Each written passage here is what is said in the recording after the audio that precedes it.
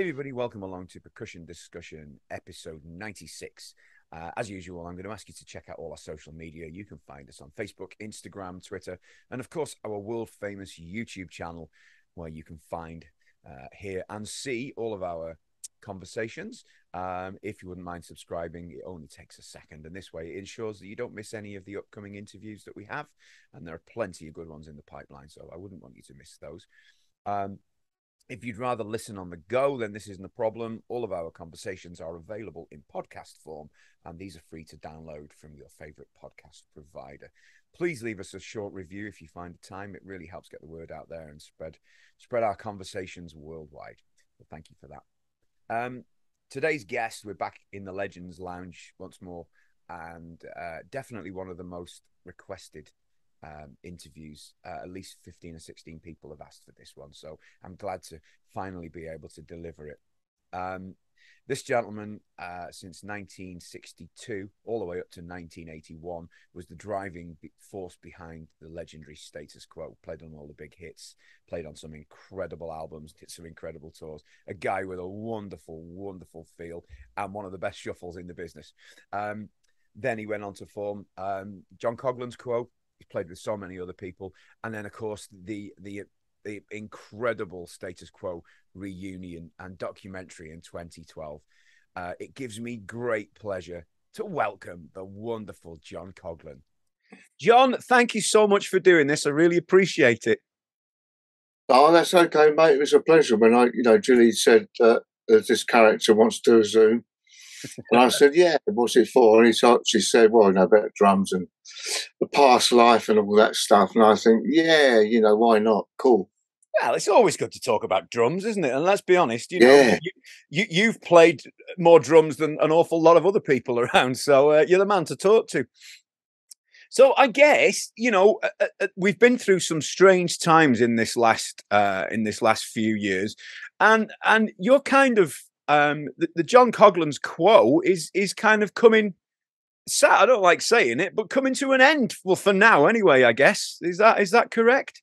Well, what we're doing, we've um, we all, you know, but I'm I'm actually got another project I'm working on in October. Sure. Because every month uh, in Burford, you know, that's in Oxfordshire, Burford. Yeah. And the Warwick Hall, they have a jazz um, thing, and I I said to um, Paul Jeffries, who's a double bass player. I'd love to do some of that because ever since I started playing drums, which is donkish years ago, I, I always loved seeing bands play, like jazz bands, right? Hmm. With the, the, brushes, get the brushes out and start doing some of that. I love it. And anyway, we, we're putting a project together, uh, which we're going to obviously rehearse and see if it works. Hmm. And uh, Paul's come up with this idea jazz meets pop. So it's going to be sort of what we see what we did decided because I'm not a jazz person. They're not. He's not a rock person. So what we thought we'd do, we do some. It's all instrumentals, by the way. So it's going to be. It has to be stuff, tunes that people recognise. Yeah, of course. And just something obscure, you know. So, yeah. So that's jazz meets pop, and we're going to be doing some uh, some of that and some gigs around this part of the UK, probably, I don't know if we bother going too far away, but we're all getting old, I am, you know. But um, it just, all it is, if you can imagine it, how many times have I played down, down, played, playing rock and over the world, you know, since uh, the day we released those those songs, you know. So it's a long time, and uh, I'm not complaining. I know we, I thank all the fans for buying those records and being great fans. It's been super, but uh, you know, it's. Uh, I remember someone saying to me ages back, this woman said, "Oh, it, oh, it must be so tiring doing all that stuff." You know, sort of locking it. You know, sort of, you know. And I said, if you wanted to go around the world like I have, you'd have to pay for it. Whereas we we went out in the world and got paid to do it. it's wonderful, you know. It's true. It's right, isn't it? It's the tr- it is the truth. yeah and, and and not not only you know as you say you, you're getting paid to do this, but you've got adoring fans. You've got the whole. You've got the whole. I mean, what more could you have wanted? You know, it's true, isn't it? Yeah. Oh, absolutely. And uh, you know, we when we played sort of Canada, the States. Then we went to, then we'd done um, Scandinavia, Finland, Norway, Sweden. Then we went down to, this is not in order, by the way. We went down to, uh, did Europe, of course. And um, then there was Australia, New Zealand, and Japan. Japan was really interesting. The fact, was the ones I can remember. Uh, it was in theatres, so they're all sitting down, hmm. which is unusual for a Quo audience because they're like, uh, you know, if Quo audience like to stand up. Well, yeah. in the UK at least, you know, and uh, Australia probably. Anyway, we were playing, going through our set, and I remember every time we finished uh, a song, you know, da la la, bam, they go. Silence. Yeah. big gap. And it was interesting. I thought, oh, maybe that's their way. You know, that's the Japanese way. But it was so good to go back out, back out there. We, we did two big tours and we travelled everywhere on the bullet train. So, you know, that's a part of life that we, we loved and it was just really good fun. And thank you for the audience inviting us. You know, it was just something else. It's it's incredible, a, a, a, hell of a life to lead, isn't it? It really is. Yeah. So just back to the jazz br- briefly. Um, I mean, growing up, I, am assuming jazz or big band drummers were, were, formed part of your influences, I guess. Yeah, oh yeah, because um, going back to my early days, we we were brought up in, uh, we lived in Upper Norwood, which is near Crystal Palace, uh-huh. if you know that part of London. And uh, my mum and dad loved ballroom dancing. They used to take me along to the CPH, it was called the Crystal Palace Hotel and they had big dance bands on. So I used to go and they'd take me, they'd be ballroom dancing, as was the scene in those days. Mm. And I'd watch the drummer. And I thought, I'd love to do that, you know. Then I thought, well, yeah, I'll, I'll, i said to Dad, I'd like a drum kit, Dad. I remember Dad bought me a little drum kit. It's a little Broadway. Mm. Do you hmm. remember Broadway drums? I've got, I've got one. Have you? yeah. The one I had was blue, the little blue one. Yeah. And, you know, it was great. And it was just um, bass drum, hanging tom, uh, snare drum, hi hat. Uh, no, no floor tom. That came much later, but uh, you know it was great. And I, I, remember someone said to my dad in the, this the pub we used to go and have a drink in. I was probably underage in those days, but you know, hey, who cares? and they said to Jack, my dad, uh, tell why don't you get John to come down and play in the Two Towers pub in in West Norwood, right? So I don't know how we got got the drums down there now, but because my dad didn't have a car. But anyway, picture this: there's this little back room in this pub with a woman pianist, right? Now, no rehearsal, nothing like that, you know. Uh, just set the drums up in the corner next to the piano. There's no PA system, of course. No, she didn't have a microphone, and I can't even remember what we played. Uh, and it was so funny, and you know, I, I think we'd probably just play things like "Knees Up, Mother Brown," you know, stuff like that. What's a polka? I remember the yeah, I remember the old boy at the pub saying, "John, it's that. What's that drum on the floor?" I said, "That's a, called a bass drum." Oh, it's too loud, too loud. I was probably, I don't know, stepping on it, which I, I do. But you know, I wish someone could have recorded it because I'd love to have heard how bad it sounded.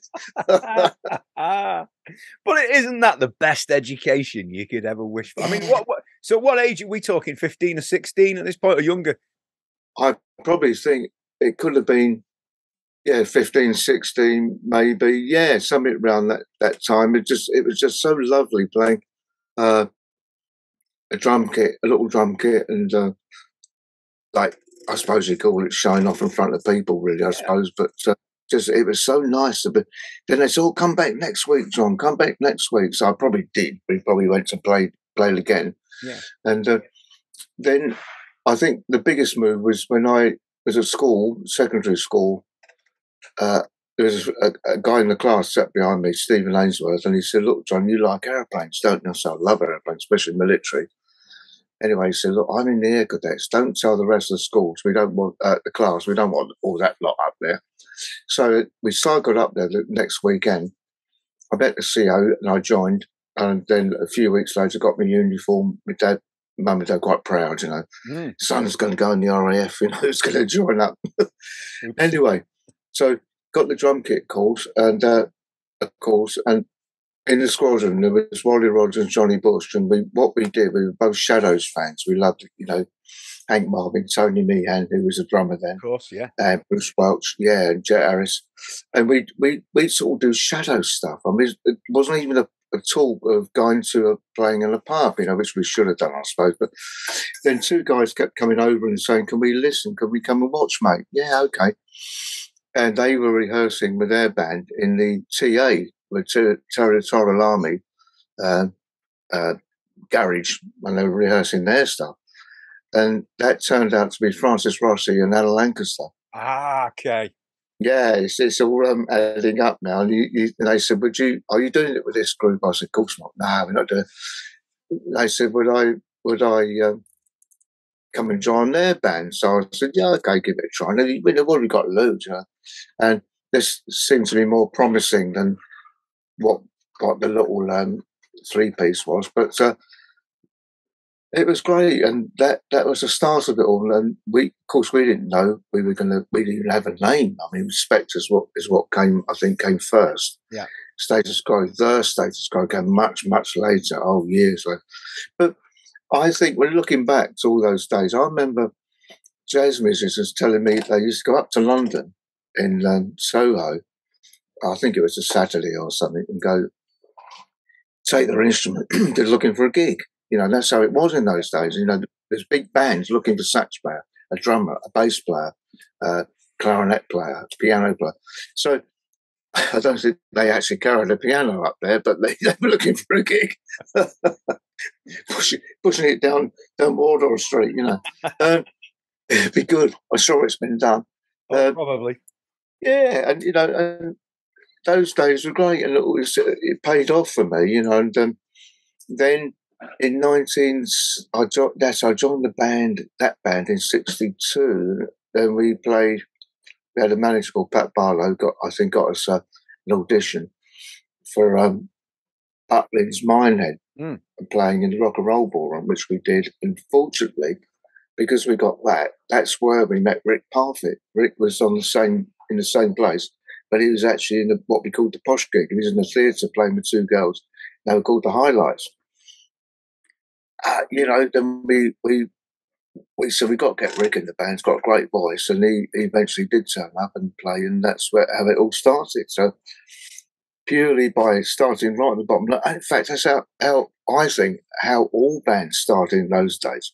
Yeah. Just by knowing somebody, and they say, "Oh, we're playing down the Duke's Head next week. Why don't you come down and play?" Or we're playing, you know, science or science. Come and join the band. And I think, you know, I've heard lovely stories about Charlie Watts, he met the Stones. You know, and they said, "Oh no, come and join the band," because they were a blues band at the time.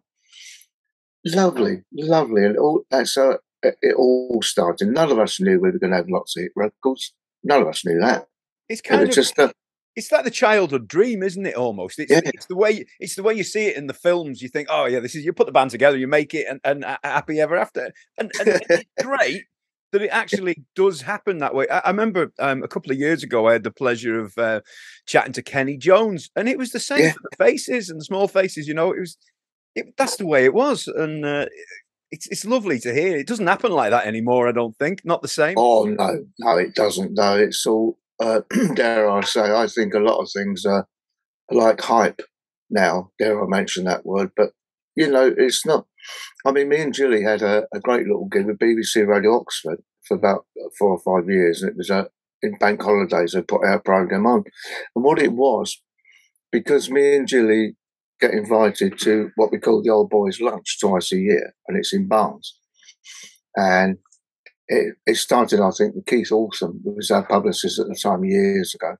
And he had this idea of inviting members from certain bands that he got on with for lunch. Hmm. You know, we all paid our lunch. He, he didn't buy he didn't buy hundred people's lunch, but and it was great. And Don Powell was always there, and, and Brian Bennett, Bruce Welch, and of course, I say to Bruce and Brian, I did ask them, would, you- would you be prepared to come on the program on BBC Radio Oxford? It's called Rockers Rolling. I said, we'd love to, John, for you. Yeah, okay. So Brian came down one weekend, uh, then Bruce the following weekend. We had Elkie Brooks, and we had uh, Lindisfarne, all those people that we met at the lunch. And what we did, but there's no script at all.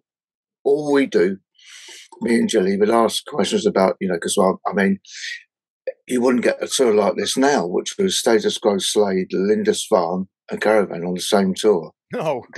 All flying out with all our road crew to these places, into Australia, say, and going around, you know, playing all over the place. But, um, mate, you know, it was just it was just great, and none of us knew we were going to have hits, and but it was all all because we, every everything seemed to fit at the right place at the right time. Big part of it, isn't it? And you know, and and, and if you think of the talent in that band, I mean, you, you mentioned Rick's voice. I mean, Francis has got a great voice. Alan, wow, what, uh, what a voice he had! Yeah, you know, and and and, and musically, all uh, fabulous as well. I mean, it, it couldn't fail, could it? Really, you know. Um, I don't no. think so. Anyway, it was just. Was it evident from the start that it was it was really good? I mean, well, we did. Uh, a lot of people don't know this. When we were Spectres, someone came up, I can't remember it was now, said, "Look, why don't you do record a song called I Who Have Nothing?" Do you remember Shirley Bassey's song? I know the song. Yeah, I know it. Yeah.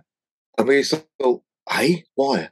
Anyway, if you can dig it out one day, dig it out, of a listen. It's actually it starts off with this big crescendo drums, you know, uh, on the floor tom, uh, and lots of keyboards and stuff and guitar, and then it goes one, two, three, and it becomes a rock song. And it's awesome. And I think we ought to dig it out and get JCQ to do it again because it, it was so. I recognise that. You know what? That's a Shirley Bassey song. You know, not, and, uh, not what you'd imagine, it, it was, is it? No, and it wasn't it wasn't a hit. I can't work out why, but it wasn't. So, you know, that was just one of the things that uh, we we did. Uh, we did quite a bit of recording as a Spectres.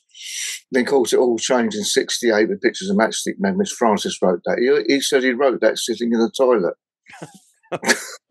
I don't wish to know that bit, but you know, it worked. yeah, yeah, it certainly worked. I mean, did you going back a little bit, did you have any idea that this was going to become what it was going to come, how big it was going to be, and it, it was going to be a living for, you know, for the rest of your life? Did you did you have any idea that, at that point? I don't think so. No, I, I think we were over the moon by doing lots of gigs, doing occasional tours and stuff, which I suppose we did do, and and meeting lots of great fans and, and telling us how good we were. And we, yeah, keep telling me it's great, you know, thank you.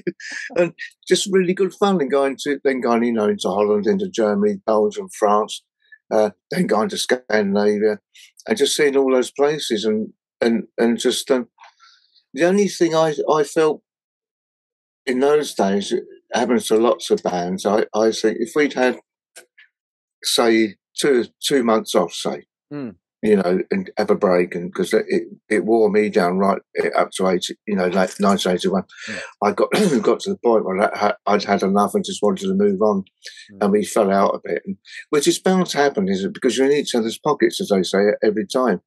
And if we weren't, I had a saying, if we weren't rehearsing, uh, sorry, if we weren't recording, we were touring. If we weren't touring, we were recording.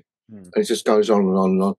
And I think if we'd had some time, maybe there was a reason for it, but I, I don't know. But uh, it's just one of those things. But we we did, thank God, we did the re- reunion tour in good time. Yeah, you know, because if any later, it'd been too late. Yeah. Well, I, I was going to mention that. You, you, know, I was looking through your discography. I mean, I've got a lot of the albums, but there's a few bits missing, and you know, th- there's a lot to own, isn't there? Let's be honest. Uh, and and from let me think, from '68 onwards, you were doing minimum of one album a year, up yeah. until the point where you left. You know, that's I mean, bands these days that that's on it's every two or three years, maybe. I mean, um, I think it was. Uh, uh, did you put two out in '70? Was there two albums out in '70? I don't know, but I, I, I now you mention it, I, I think you're probably right. Probably was. You know, it seems to be like a a mill. We were like a one of those tre- treadmills, sort of just going round and round. And I think there's only so much you could do. I remember we were recording in Holland in um, studio, and and there was this massive explosion, a big bang, and we thought, my God, something something dreadful's happened outside. And so we stopped playing. All the electricity went off. so we ran outside the studio, and uh, what it was, it was a thunderstorm, mm. and it hit a tree, and the tree was probably about about this wide. Not a big tree, okay, but it, it, there's a black line went straight down the middle, split the tree in half, and went under the ground and cut all the power out. I mean, it, it, that could have been worse, mate. You know, we, you, you, you could have thought something horrendous, you know. But uh, anyway, engineers come along, do what they have to do, and uh, we carried on recording. Unreal. I mean, if you think, tw- say 12, for example, 12 albums in a decade. Yeah. I mean, and, and I don't know back then how long it would have taken to record the album because not only you've got to record it, you've got to write the bloody songs as well. And if you're on the road, how how on earth did you find time to do it to fit all that in? I, I, it blows my mind, John. It really does. Yeah. Well, also um, we used to spend time rehearsing the songs first before we went to the studio because we found you know that was the, the quickest way to get it done really other than wasting time rehearsing but yeah. you know and i think uh, there's one um, oh, what was it? Anyway, there was one one track uh, that Francis wrote. Uh, I can't remember what was it called, and he played drums uh, at home on it, and I it was so good. I copied what he did and put it on, put it out on the single. Yeah. Oh, again and again, I think it was. Right, I didn't know he played yeah. drums. Yeah, nor did I. Fantastic. Yeah, so, uh, I mean, in an average year, I'm, I'm guessing there was no such thing as time off. It was record, as you say, tour, record, write, uh, and I can't imagine how tiring that must be. Uh, you know, I know people on the outside look in and go, "That's just such an amazing life," but it's one part of life. It's not all of life, is it? That's the thing. No, no, we did get time off, of course, but um, I just think I would have liked a bit more Mm. Oh, that song, by the way, is I'm propo- uh, what I'm proposing. Ah, is that it? What you're proposing? What you you got it right. yeah, yeah, good days. But uh, you know, I, I, had this before many times. People say, "What was your preference, John, recording or, or playing live concerts?" I'd always say live concerts for me, especially for some reason. There's a, a, buzz about walking on stage and then playing to a great audience who who, uh, who absolutely love what you're doing. Yeah. You know, and I've had so many people recently say the, the gigs I've done with JCQ. They said, uh, "Thank you for all the stuff you've done in the past, and thank you for making." Uh, our lives very, very, very happy. And uh, I mean, like I was told uh, on the reunion tour I think we did three or four nights in the Apollo uh, Hammersmith. Was mm. it Apollo? Yeah, I think it is. Yeah, yeah. And uh, a family from Australia flew over to for four, for four nights to see its gig. Then flew back to Australia, and uh, I, I, I probably to go back to work, I suppose. But anyway, then they flew back again with the whole family and went went to Dublin to catch the last show. So you think how much that costs airfares alone, hotels, uh, eating out, uh, all the expenses, you know, then flying to Dublin, booking another hotel, and, you know, it must have cost a lot. But obviously, they must have enjoyed it as they wouldn't have done it, you know. So that that's really nice to know. Yeah, that's incredible. I mean, that I mean that tour was, I, I believe that, that every ticket sold out in under twenty minutes. Yeah. I mean, that's just incredible, isn't it? It really is, you know. Yeah, there was um, also Rick Parfitt said to me and Alan Lancaster, he said, uh, I really enjoyed doing this, guys. This is really great because I it was going back in time, you know, the stuff that as we did as a four piece. Cool. And Ali said to Francis, I want to, why don't we carry on doing this, you know, which I would have been up for it, of course. And next thing is um, Francis said, "Oh no, I don't want to do that." Anyway, he was just didn't want to do it. So he, I believe, he said to Rick, uh, "Look, why don't you go out of Status Quo PLC, Parfitt Lancaster from Coghlan, right?" thought, blimey, that's strange. That means we have to get someone else and replace him. Mm. So I was a bit stunned and I said, well, you know, whatever it takes, you know, I don't mind, you know. Anyway, of course, then you know what happened to Rick after that. So it didn't ever happen. But, um, you know, it, it's quite amazing. So I wouldn't have been against it, but oh. Status Quo PLC, I mean, would it have worked? I don't know. Don't know. It's, it's just, I don't know. It's a strange one, isn't it? But do you know the the, the documentary uh, Hello Quo? I, I, remember watching it when it came out, and I, I, was, and and I think there must have been so many people really looking forward to it, and and it didn't disappoint, did it? Was no. you know you see the opening um the opening scenes where you all meet up you wander into the studio. Is that how it was? Because um, I think I think you went into uh, um, from. Oh, excuse me if I got this wrong, but I think it was Roadhouse Blues was the first tune you did in the documentary, and it was just like it's back, it's here. You know, this is this is Quo. Was oh it- yeah, that was yeah. That, I'll tell you, mate. That was um, Shepperton Studios. Yeah. The only trouble is I found with that rehearsing in there for two weeks because it's a, a, a sound studio for making films mm. and movies and TV and whatever. The I took my Ludwig kit, which I've still got to this day, which we was first seen on telly in, uh, in '68, Man, Manchester, uh, Matchstick Men, yep. and I took that kit along. But because the whole place is so soundproof, the drums sounded like they had a plastic pads on the on the drum and sounded so dead. Really? And it's all you know. I, I don't I don't think the punters will realise that, but everything's really dry. You know, you know when you go into um, like stone room, it's all stone floors, stone ceilings. Uh, sorry, not stone, stone walls. It's for drums. Wow, it's loud. It's wonderful. You can hear every note and beat, and you know the sound's massive. In a sound studio like Shepperton, it's all dead. Yeah. And it's just horrible. But, you know, we got, we got, got through it. But, uh, yeah. Uh, and Francis said to me, What do you want to do, Spud? And I said, well, I'd like to do um, April, Spring, Summer, Wednesdays because it's smashing tune. Mm. It's a, uh, it's away from the shuffle. It's like boom, ba, boom, ba. Anyway, we're going through it, and Francis forgot a, a, the second verse or something, or the third verse or whatever it is. And I stopped playing. I said, No, you missed a bit. Have I? I didn't know that.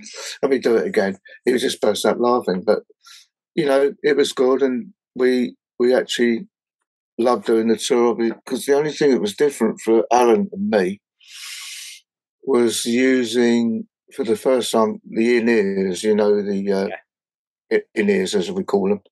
Uh, so we had those moulded, and you know, someone comes around to your house, it, then, it, then they send you the, the copy. Anyway, then touring on the tour buses, which we loved. Those buses are awesome. Yeah. Phoenix, I think they were called Phoenix. And, you know, there were four buses on that tour. Uh, it wasn't one each. It was um, me and Alan Lancaster, Jilly, Dale Lancaster, his wife, Bob Young, and sometimes Sue would come with him. Uh, and now a few people. But that was that. And the other bus was um, Francis and Rick and uh, their crew, their people, and uh, the other two buses just for the road crew. But uh, also, the nicest thing about it was we had in-house catering as, that came with us on tour. Wow. And what was lovely about that, because we we'd have breakfast, lunch, and dinner. normally at the gigs, but um, depending what time you got there, of course. But uh, you know, they say what do you want on the bus when you come off stage? And so that was always nice. And you pick something off the menu, get on your bus, open the fridge, and there'd be uh, like those little boxes with some hot food in it. You know, then oh dear, look what's in the fridge. Be some wine. Oh, that looks so lonely. We'd have to drink it. oh, and uh, we got upstairs, upstairs, up me and Julie were at the front, Alan was at the back with his his wife in the back in their big bed up there. And I tell him, man, it's the only way to go. Forget hotels because uh, having to wheel your suitcase in off the bus and having to check in, you know the seat. And of course, what happens now because you know fans can also stay in hotel also. So you know, Quo fans have been fine majority are very polite and they leave you alone or oh, just can I have a photo? Yeah, fine.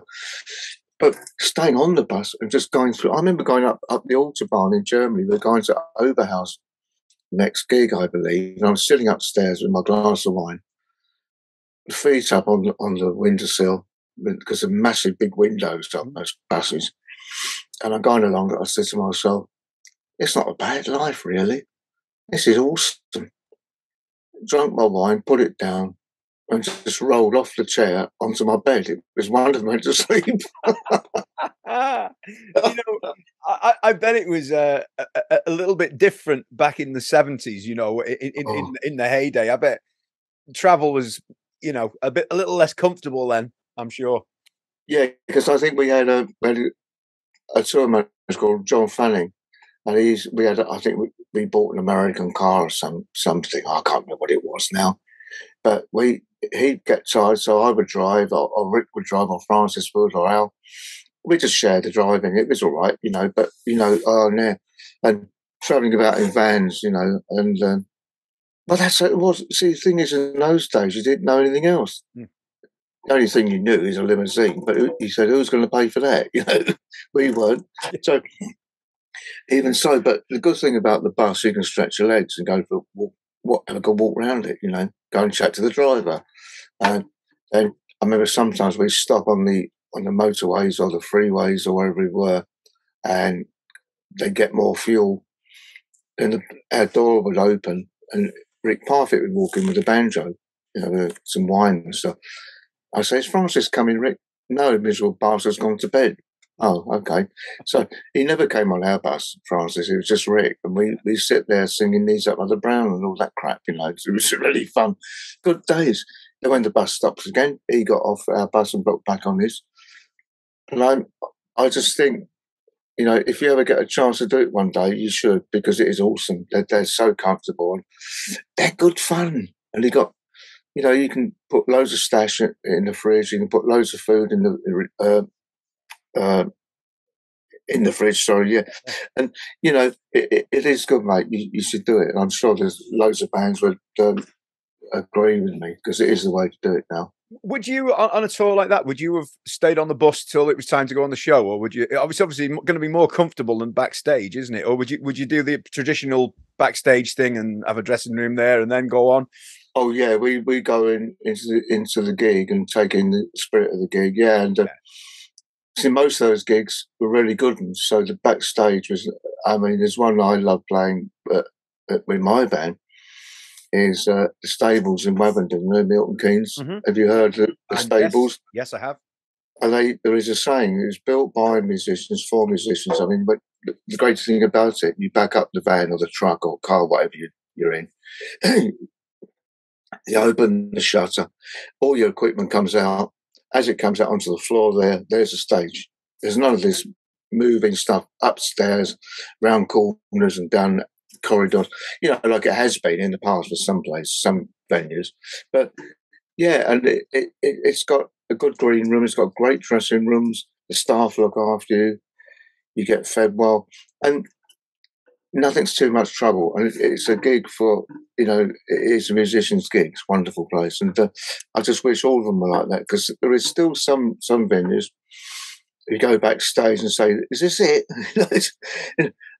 Blimey, I can't swing a cat in here, you know. And uh, but that's why some are. But uh, yeah, uh, if I had an opportunity to do a proper big tour like that again, which I did with the lads, I'd snap it up, and especially if it was a tour bus situation, which is the only way to do it. I think, you know, just amazing. I mean, I just can't imagine. I really can't. But you know, I'm glad you've you've uh, you've talked about it because it's it's something that maybe gets a little bit overlooked from time to time. You know, and uh, worth worth mentioning definitely. Now, I, would like to talk about um, about the stamina required from your point of view to do a quo show because when you were, excuse me, when when you hear Quo on on record or whatever CD, uh, Quo live is a different thing altogether, isn't it? It's it's got a it, it's it goes up another gear, and it's it's a party. It's full on from start to finish, isn't it? I mean, i am lucky to have seen Quo a few times and yeah, different animal live. I mean, I was watching some footage of you a couple of weeks ago, and I think it was "Gotta Go Home" from 1970, and it's a bloody fast shuffle. Now, not only is it a fast shuffle, it lasts nine minutes long, and and both right hand and left hand. It's almost like the Texas Shuffle thing at times. I, I don't know how you manage to do that. For I mean, three minutes is tough. Nine minutes, well, were you just I, in yeah. shape and on form? I suppose. I learned um, to relax when I play, and uh, if that's possible, and because uh, actually a lot of people, I play right-handed, as you probably know, hmm. like which I thought when I saw drummers in my early early days, that's how they all played. I never really saw a left-handed drummer like you know Phil Collins was left-handed, mm. uh, Ian Paice. I learned well. Actually, I'm left-handed, so when I write, I, I write left-handed. Didn't know that. Yeah, and also when I've had opportunity to be on a flight simulator, it's always a left seat. I tried it in the right seat because if the controls hit a bit stick about that big, you know, it, it seems right for me. Um, I know what you mean about that song. That is fast, and uh, it's. Uh, I just relax, and what I try to do just make it's just the wrists that do the work. Mm. You know, that's the way I, I do it, and uh, honestly, it, it's the way to do it. And I look at that sometimes. Like, there's a few drummers I know say, "How did you do that for so long?" I don't know. I just did it. but do you know? And I suppose if you're playing all the mm. time, and, and let's be honest, um, at this point more there was becoming more shuffles wasn't there you know um, not so much on the matchstick men album but uh, uh, and i think it was probably Ma Kelly's when when that kind of stuff started it, it, started to find its find its voice a little by then didn't it you know quo it was more that I, am guessing from from my point of view anyway it was getting into that that r&b bluesy rock sort of thing at that point well i remember from we were doing some gig somewhere in England, and I, Francis said, "Look at that drummer, John. Look at that drummer," and it, they were the support band. I can, I can't remember who it was now, but the drummer, their drummer, was doing a slow shuffle, like but with the left hand doing doing the shuffle. Hmm. Like he said, "Could you do that, John?" I said, "Yeah, I can do that." And so we put it in. Um, uh, in my chair, it was like that. Mm. In my chair, two hand shuffle like that. And uh, I learned all that off the early, early days of seeing jazz drummers do it. And uh, I thought, I can do that. And do you know what? It never dawned on me to even think about playing a left handed kit because I'm left handed. I sat on left handed kits. And as soon as I put my left foot on the bass drum barrel, it felt alien. You know, it didn't feel right at all. Oh, no, I've got to get off here quick.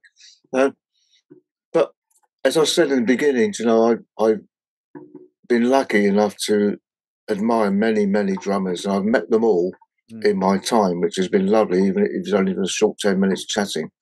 But my greatest experience, Eddie Haynes from Premier Drums at the time, yeah. uh, came to a gig and he said, Oh, how's the kit, John? I said, Lovely. I said, It's great, mate, as usual. No, it's fine. And he said to me, um, you like Buddy Rich, don't you? I said, I do. Oh, I said, who doesn't? Oh, amazing. I just love to watch him play. And he said, Would you like to meet him? I said, What did you say? He said, Would you like to meet him? I said, Oh, wow, yeah. And I thought, I don't know what I'm going to say, but the opportunity's there.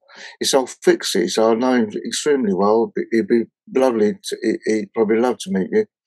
I said, yeah, go for it. Anyway, what happened? We were on tour in England, of course, and um, the day came. And I think what we were, I think Quo was in Manchester, and I think Buddy Rich was in Preston Guildhall or something like that. The day came, we turned up. I got a roadie to take me. Went down there, walked in. We tried the back door because it was early afternoon. Walked straight in, went upstairs, and I could hear someone tapping on the kit and uh, we heard his roadie say, "Buddy, your guest is here."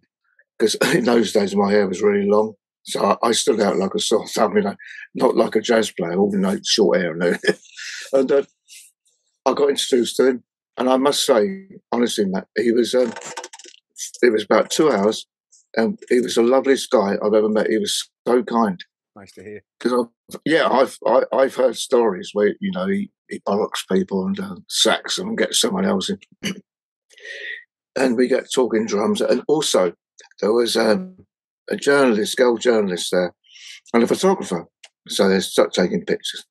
And uh, she, said, well, she said, Mr. Rich, you're the uh, best drummer in the world. What do you think of this guy? You know, rock drummer, long hair, and all that. Put me on her pedestal or a pedestal was okay, whatever it was, you know. Um, he said, I remember this to the day. He said, um, well, there's no need for that, ma'am. He's doing his job. I'm doing mine. Not the answer then, she wanted. no. And I thought, wow, this is awesome. And then he said, hey, John, have a play. And I, I said, what, you're getting? Yeah, man, sit down and have a play.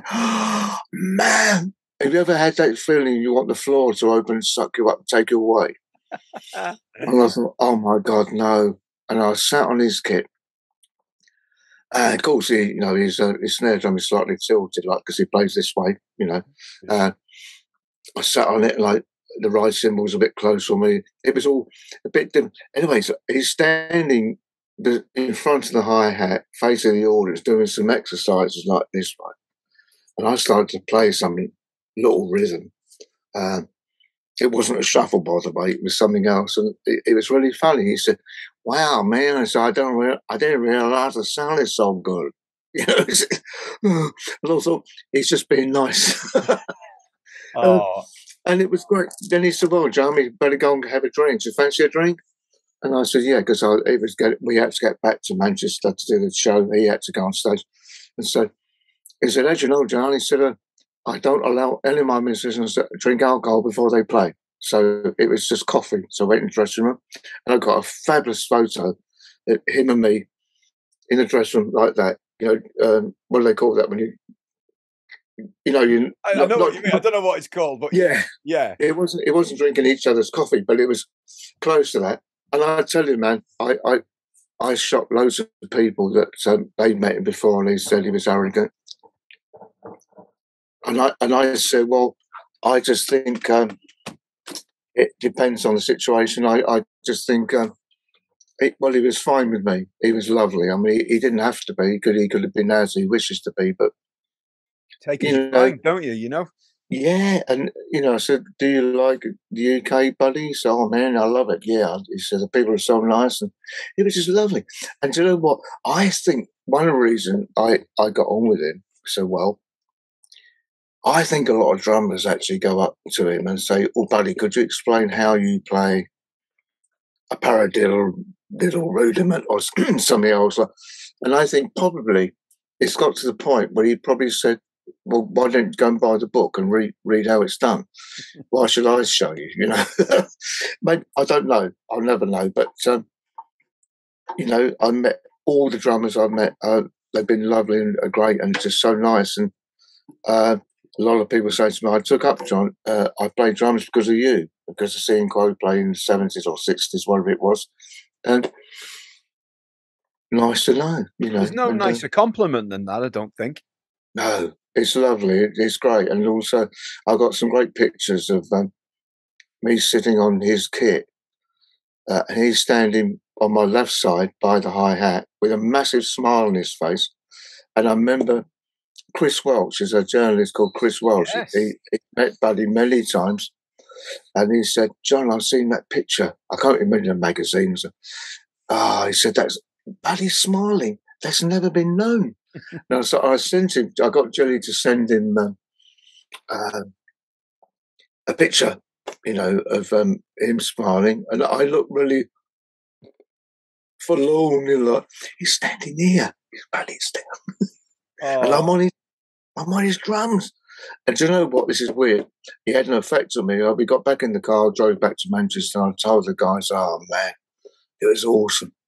And and I I I floated on stage that night, and um, I I just played so well in my mind that he did he did uh, wonders for me, and it was wonderful. When he died, I was pretty upset. Yeah. You know. But uh, what a great experience to meet the, the, best. And also, before I forget, I managed to get hold of Louis Bellson's uh, kit once. It was for sale. Wow. And I knew the reason it was for sale, the reason uh, it's a promoter. Uh, I can't remember his name in England. Uh, put Louis Bellson on tour, a Louis Bellson tour in the UK, and I don't think ticket sales were very good. And Louis gave him the kit. Oh, Peter, Peter, somebody, Peter. Anyway, uh, and he said, "Would you want it, John? Would you buy it?" And I bought it. I took it back to the Isle of Man. Uh, it was a, a, double kit. I think it would, would it have been Slingerland? I can't remember now. Would have been, yeah. I kept, yeah, I kept think I kept it for a few years, and I sold it. I, I put it up in auction, which is, you know, um, in the Isle of Man, I had about four or five different drum kits. Um, black Black Premier, but I've still got my lovely Super Classic. Well, I was uh, going to talk about gear. Actually, I was going to say because yeah, the Super Classic obviously is known by everybody, uh, you know, and it still looks in great shape because you've obviously had that a good while, haven't you? I had that since um, I think it might have been 1963, 64. Did you buy that new? Did you have that new? Oh yeah, I mean, I remember I went to my dad to Drum City in Shaftesbury Avenue. Um, my dad bought it for me, and it was the best thing he ever bought me. And I thought, look at that, that's great. And it's, it's the same one that Ringo had at the time. You know, the, the Oyster Bar, I think they call it. Uh, same one Ringo used, same sizes. Um, oh man, they don't make drums like that anymore. I'm afraid. I, I got a, a lovely Yamaha green Yamaha that I've had for years and years. I played with that, and I'm going to use that probably on the uh, the Jazz Meets Pop. I'll do use that kit. Uh, the Ludwig, I, I was like I said, I've still got, but that's we all have a box room in our house, don't we? It's full of boxes and never been unloaded because you, you didn't. yeah. yeah. And you think, oh, to get that out now, to take that downstairs and put in the car or whoever's taking me to the gig, yeah, oh, no, I can get the Yamahas quicker. So you go through things like that. But uh, Natal had been good for me, and, and Russ Chad, who, who plays drums secondary to me, and we we, we share the gig.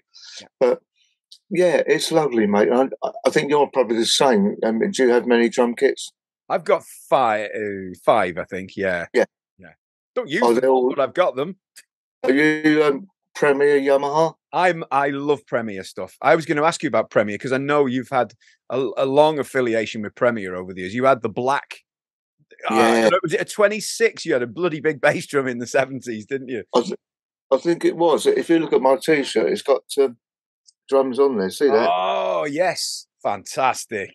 Yeah, yeah, and it's got my name on the side somewhere. John Coghlan. Some. Yeah, see it. See, you know, you you you and Premier go way back. Just talk a little bit about Premier because it's a company that I've I, have i have had so, you know I've had so many Premier kits over the years. I love the company. I do. Yeah, it, it's a shame they sort of ended up as they have, but uh, they were good for me, Eddie Haynes and the lads, and we went to the factory a couple of times and showed me around and saw stuff being made. And they were just drums that you sit behind, you think this is nice. I like this the good snare drums, on bass drums. Yeah, lovely. And they were so good. And, uh, you know, I wish I'd kept my Black Love uh, Premier, but, you know, life moves on. And also, we lived in the Isle of Man, Julie and me, for 10 years, and I was supposed to go, go there for one to do the tax. And uh, we ended up staying because we liked it so much. And uh, then, excuse me, then you moved back here. I moved back here to Oxfordshire, where I am now. And, you know, you can't. there's only so much stuff you can bring back, mm. you know. Yeah. And uh, but anyway, that that's life. But uh, you know, I, I just love drums. I used to go to Drum City a lot. I remember walking in there one Saturday afternoon. Was it morning? Saturday morning. And there were two drummers in there playing floor tom toms. It was Ginger Baker and um, who was his? There was another um, jazz drummer who he who he looked up to and learned a lot from. I can't remember his name now. Uh, it's gone. Anyway, they were bat- battling out in there, and then, no, it goes like this. No, it don't goes like that. You know. And I remember going up to the counter to buy some drumsticks. Anyway, so they're battling out behind me, and um, I wish I could remember the drummer's bloody name. Anyway, don't matter. Uh, he said, Watch him, mate. He said, What's that salesman? He's selling some duff sticks. And this drummer, he said, What you do, mate? get a drumstick, lay it on the desk, and roll it so it rolls across the floor. That's the desk. Yeah. Right. He said, because if it's buckled, it'll go. It'll go like that, which is absolutely right. I mean, you've obviously yeah. seen sticks like that, so you can't use them to throw them away. And I've never forgotten that. And you know, it's amazing. I still do it to this day. But of course, sticks are made much better now. Yeah. They don't. They don't do that. Thank God. Yeah. But yeah, you know, good days, and uh, just I just love jazz. I, I'm really looking forward to doing something different. You oh, know. Yeah. Yeah, and the thing is with drums, you know, it, it, it, never that excitement for drums, whether it be playing at them or playing them or looking at them, it never goes, does it? You know, I no. I, I, I remember you had a, I think you had like a, a chrome kit as well, didn't you? Um, and then and then there was the yellow um the Soundwave kit which you had, which I know Mike Ellis restored for you, didn't he, from Blend? Yeah. And and that was a lovely looking kit. I mean, I, I have a fascination with yellow drums. I don't know what it is, but do you still have that one? no, I that went uh, that went to um uh, I was with a band called Partners in Crime. We were releasing an album yeah. and stuff, and course, that didn't happen, but for some reason, uh, I think it was promotion and PR wasn't as it should be. Uh, and someone won the kit, and um, I, I should have kept it. But I, I actually did use it on, I think it was the last, um, but it was a Butlins reunion type thing we did at Minehead, because that's where we started. And the guy that had the kit brought it along for me to play it, and it was so nice. That kit. Yeah, and uh, it was nice to don't drive my car because it's got that, you know, the, the four toms. And, yeah, it's got the extra two small yeah. toms up here, hasn't That's it? That's it. Yeah, beautiful, beautiful. Uh, uh, just you know, we uh, we could talk drums for forever, couldn't we? Really? I mean, yeah. it's the same with every drummer I speak to. I don't know if it's the same with other musicians, but drums is something a little bit different. I don't know if guitarists would sit and talk like this. I don't know, but uh, I don't care about them anyway. but look, John, before we go, would you yeah. talk a little bit about Alan Lancaster? Because you know, lots has been lots has been said about Rick over the years, and you know, lots of people have, have you know said nice things about him. But obviously, Alan's been gone. Uh, you know, uh, since, since uh, uh, you know a, a, little a less amount of time, let's say. And ha- from a drummer's point of view, what what was he like to play with? Alan on stage was great. He was. Because he had the gig of um, counting everybody in, counting all the songs in. And he was, I remember things going right back to even before the Spectres were formed. We were in his house. In, oh, he's from Peckham, South London, right? He was really funny. He'd say, See that geezer over there? Yeah, what him? Yeah, looking, you know, he keeps clocking me. It's real Peckham man and doing well, you know. I'll go and smack him one in a minute. he said, he keeps screwing me, he keeps looking at me. I said, you know what it is, Al? He said, what's that, Spud? He said, I said, it's those silly trousers you're wearing. Because we were all in different colours and baggy trousers and all that horrible crap in those days. No. And when you see Only Fools and Horses, it reminds me of him, you know, the Black Peckham thing. He, he was lovely. And he, um, he was okay when he was okay, but he could Alan was one of those lovely guys. He could, um, if someone put him out, he could throw his weight around, and you know, it's just that little bloke. But he, he was um, a lovely guy to work with. He's an extremely good bass player, by the way. Yeah. He'd ask me what you know, in particular song, what you're playing on the bass drum, John. I'll be playing, excuse me, playing fours. So he, he played fours on the bass. So we would work very close together, me and Alan. Then Rick Parfitt would do work his rhythm guitar with me and Al. And um, a lot of people don't realise that Rick Parfitt, he, he, explained to me once, was um, you see a lot of these tribute bands doing um, doing a Rick Parfitt Parfitt piece, but they're doing what they thought Rick did, playing the guitar, but doing upstroke, downstroke, upstroke, down, and Rick Parfitt never did that. It was all downstrokes. So, yeah, yeah that's a lot for your wrist, though. Yeah. You know, sure. sure. And, and that's what happened. That's how I believe the rhythm section, the band was so good because it, that's how it works. that's evident live though because you couldn't get yeah. a grain of sand in between those those beats. It was just no, that's no. what creates that energy, isn't it? And and just you know, I, I mean, and, and, whenever you see footage of Alan, he's always got a beaming smile on his face. Was it was that the way it was? Yeah. Oh, yeah. Yeah. It's probably a very nice young lady in the audience in the front that you like, probably. um, yeah, he was. He was all right. He was. Um, he was so funny, Al, and um, he, he, was a laugh a minute, and uh, he's just a really, really nice guy, and I miss him dreadfully. And uh, sure. you know, then you think life is so unfair in some situations. You just, you just don't know because that example of life I've seen with people that oh, John, did you know so and so's uh, passed? You know, no. And you, situations where, oh, how was he? You know, certain days. Oh, one thing he always wanted to do, and his with his wife was go go to America or go to Hawaii or mm. you know um, for a nice holiday, and they kept saying they'll go one day. And like Jillian, my wife said, if you got to go, and you can afford to go, go, let's go. Because you don't know. None of us know, do we? No.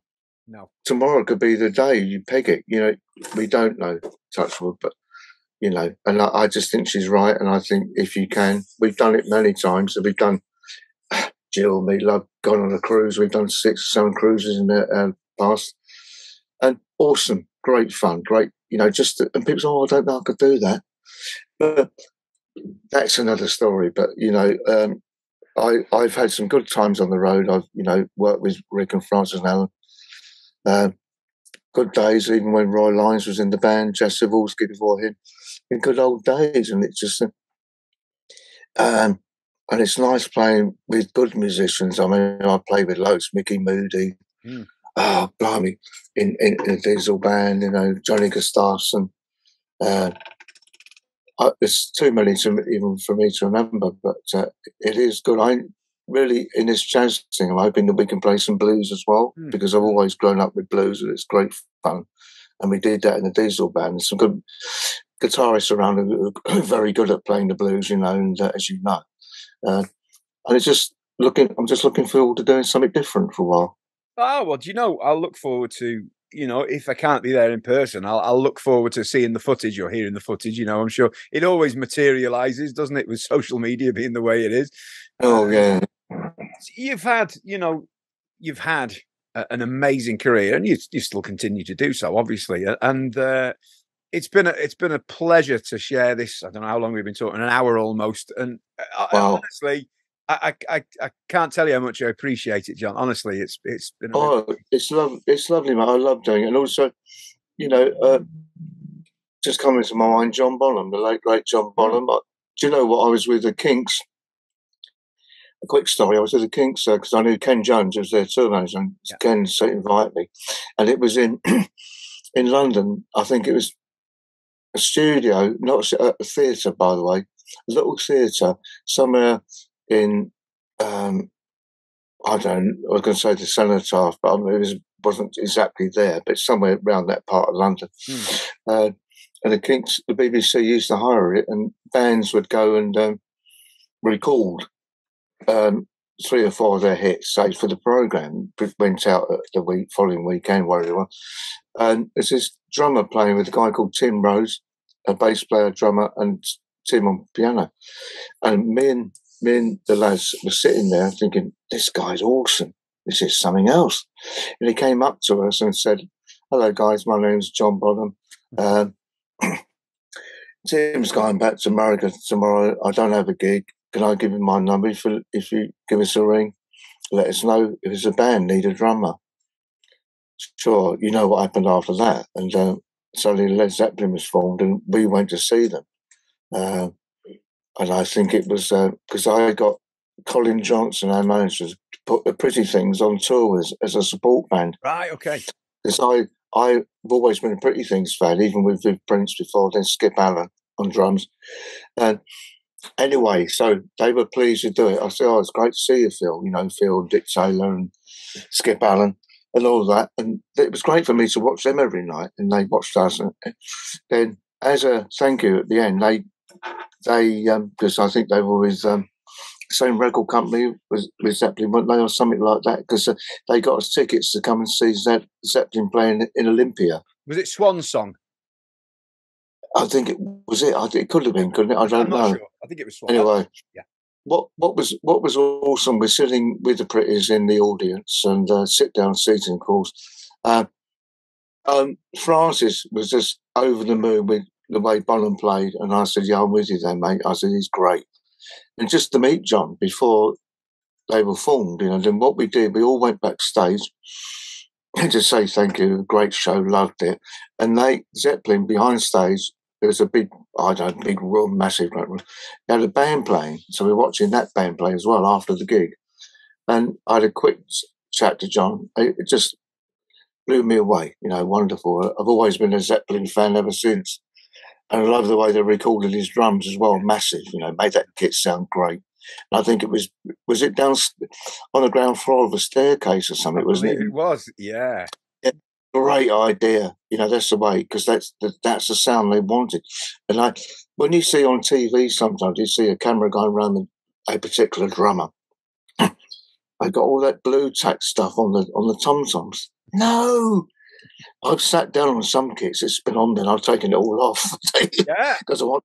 Boom, I want a tom tom to ring. You know, I, want it, I don't want it to be dead. Here, here we are, John. Piece of Here we are. Oh yeah, that's ringing. Whack it, bit, whack it a bit harder. I might, it might shut Zoom down, but I'll try. Maybe the Zoom thing doesn't like the. Hang on a second. One second. This this might help. Hang on. try this. Yeah. Oh, better. Yeah it speaks to you. You know, that's wonderful, mate. I don't, I don't, I don't like the Blu-Tack stuff myself. So there you go. it's um, wonderful drums. You know, they're, they're meant to resonate, aren't they? That's that's the, that's, sure. That's the whole purpose of them. So, look, thanks so much, John. Honestly, this has been it's been a treat. It really has, and I I, appreciate it so much. So um, it's a so pleasure, mate. Talk again at some point in the future, maybe. Who knows? Yeah, you can always ring up and um, we can talk again about something else, and maybe the jazz meets pop a bit later on in that the year. I think I think a lot of people would be interested to hear how that goes, and uh, you know, yeah, seeing a different side of you. That isn't it, really? Something that no one's probably ever seen before, really. I guess. And it would be nice to play, um, like the Warwick Hall in Burford is a nice little venue, and it's uh, it gets lots of people in to see the jazz.